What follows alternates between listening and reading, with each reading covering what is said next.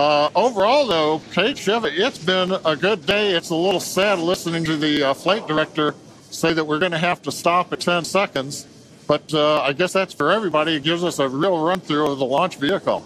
Yeah, uh, it's unfortunate. Of course, we wanted to see fire today and lift off. Um, but that's okay. The point of the countdown is to allow the teams uh, to progress to that T0 time in a coordinated fashion and really to um, unveil any issues prior to the ignition sequence. So um, the countdown did its job today. Uh, it allowed us to identify that press issue and uh, like John mentioned, the teams are going to, to work through it, and we are going to uh, hold, uh, basically call it off at T minus 10 seconds. But the integrated launch teams and us, we are going to treat this as if it were still a launch day. We're going to do this, what we now call a wet dress rehearsal. Yeah, and we, we've mentioned the term a couple of times here. We call it a wet dress rehearsal because we are wetting the propellant tanks. We are loading propellant into the vehicle. We've talked about the frost line a little bit here. That exercises the stage zero system, uh, the ground system, all of our infrastructure that loads propellants onto the pad. That exercises our um, procedures for the mission control teams we're monitoring telemetry on the mission control consoles, looking at the pressures and the rates and the temperatures. And some of those things look a little bit different when you're getting up to the pre flight uh, pressurization levels and full propellant load. So we're learning things today about the integrated tasks that are going to set us up for success in a future attempt later on, uh, hopefully in the next uh, 48 hours or so. And, and Kate, like it's it's also worth mentioning here, we're still going to take the count through to uh, a pretty uh, around the t minus 10 second mark. So we're really going to exercise everything that we would up until that point in in the vehicle states and ground procedures. Yeah, it's like we said before, um, any data that we can collect today is super helpful. And that's exactly what we're doing. We are continuing to collect this data and allow the teams to have uh, be better informed for the next attempt. Um, unfortunately, due to the uh, needing to recycle the propellant, we are looking at a minimum of 48 hours uh, until we are able to uh, attempt this flight test again. Um, so well, we're not quite sure what that timing will be at the moment, but we're looking at a minimum of 48 minutes or excuse me, of 48 hours at this point in time. But Siva, exactly as you said, things look a little bit different on launch day, and um, we allowed the countdown to do its job to basically get to this point uh, to allow the teams to work through the issues, and uh, we're going to continue, like we said before, we're going to continue all this down all the way to t minus 10 seconds, um, and that will really allow the teams to pretend like this is launch day and um, continue and gather that data.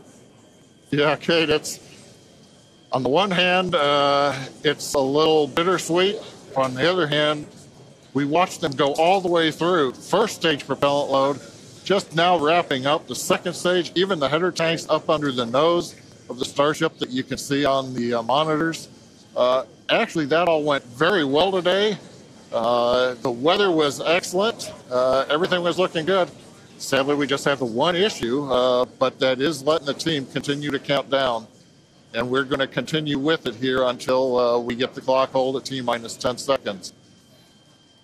Yeah, so for those of you um, that have just joined us, we're now at T minus one minute and 30 seconds to what would have been the launch of our Starship flight test, but unfortunately, due to a stage one issue, we are going to uh, utilize today as a wet dress rehearsal. Uh, instead, we are not going to attempt launch. Um, the teams are uh, basically saying that we're, we're scrubbing our launch attempt for today, and we are expecting a minimum of 48 hours in order to recycle. Um, so it's all good news, though. There's nothing really to be sad about other than we had hoped to be able to lift off today, but um, that's okay. Now, one thing to point out for folks when we do come back, uh, when we uh, clear this and we fly, one of the things you'll hear in the last minute, you won't be hearing us because we'll be listening to the countdown. But at T minus 30 seconds, that's when the flight director would give the final go for launch. Uh, love to have heard that this morning, but uh, something to look forward to. Absolutely. The other thing to look at is at T minus six seconds, we begin lighting the engines. Up on your monitor, you can see there T minus 40 seconds. We did hit the 40 second hold point, and they are holding for a moment. In the end, they will release that hold. We'll go to the last 30 seconds. But yes, when we do get to day of launch, the last thing to look at is in the last six seconds, light the Raptor engines in succession. So unlike Falcon 9, we're going to have to do that a little longer. We're hearing right now the clock is going to hold here at T minus 40 seconds. Uh, Fal- the uh, Super Heavy and Starship are looking good.